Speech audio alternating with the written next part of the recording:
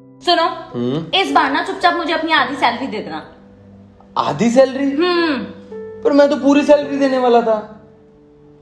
मज़ाक मत करो। शुरू किसने किया?